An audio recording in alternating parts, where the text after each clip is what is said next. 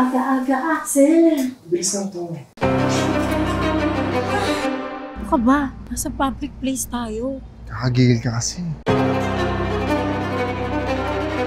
Ang isang relasyon ay hindi libog lang. Nag-e-enjoy ka naman ah.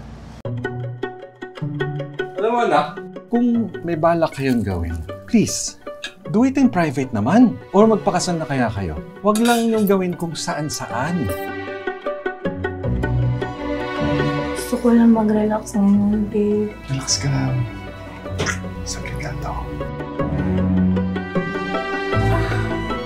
Axel, baka may biglang pumasok. Oh shit!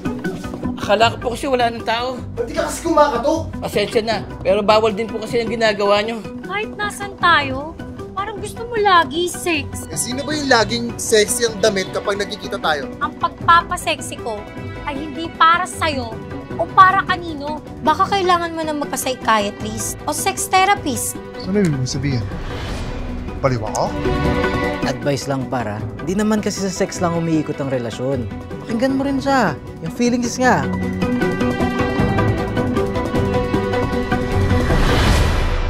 Ah!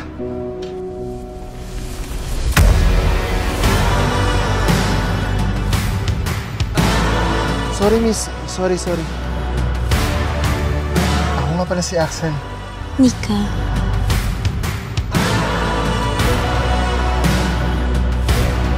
Parang gusto kong lagi na tayong magkikita. Sa tingin ko, minsan-minsan lang muna. Gusto ko munang ma-enjoy yung moment na magkasama tayo. Axel, kamusta?